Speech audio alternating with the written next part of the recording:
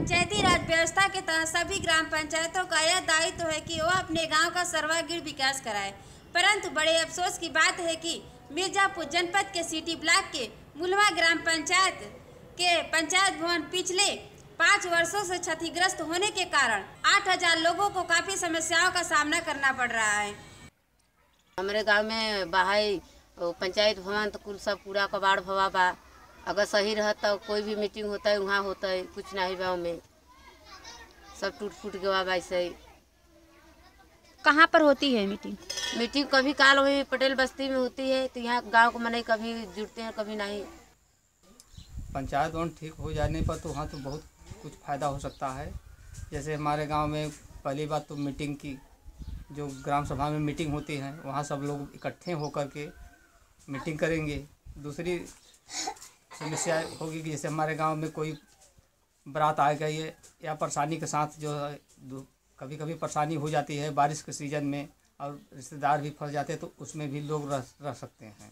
हम लोगों ने प्रयास तो प्रधान से बहुत कई बार कहा। अब प्रधान जी उसके बारे में कहाँ तक किए, क्या किए, अब ये नहीं, मैं आगे नहीं बता सकता। देखिए, पंचायत भवन तो सिर्फ़ ग्राम सभा मुल्हवा में बना है। पाँच साल पहले बना था, उसमें गुणवत्ता की कमी की वजह से वो पूरा छत फट गया और कुछ वहाँ के अराजक तत्वों द्वारा खिड़की तोड़ दिया गया, अलमारी तोड़ दिया गया, दरवाज़ा तोड़ दिया गया। और यहाँ तक कि उसमें लोग पशु बाँध रहे हैं, ज़बरदस्ती। इसकी शिकायत हमने अपने सेक्रेटरी से की। ब्लॉक स्तर पर तो उसमें सेक्रेटरी ने यही कहा कि देखिए, पंचायत भवन तो बना ज़रूर, लेकिन हम गुणवत्ता युक्त न होने की वजह से हमने उसको रिसीव नहीं किया। आप क्या चाहते हैं?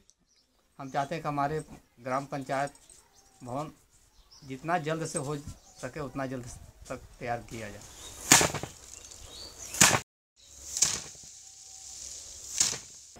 मैं वीडियो देखने वाले सभी दर्शकों से अपील करती हूँ कि मिर्जापुर जनपद के सिटी ब्लॉक के वीडियो के मोबाइल नंबर है चौरानवे चौवन छियालीस इक्यावन ग्यारह पर फ़ोन करके दबाव बनाएँ ताकि इन लोगों की समस्या दूर हो सके।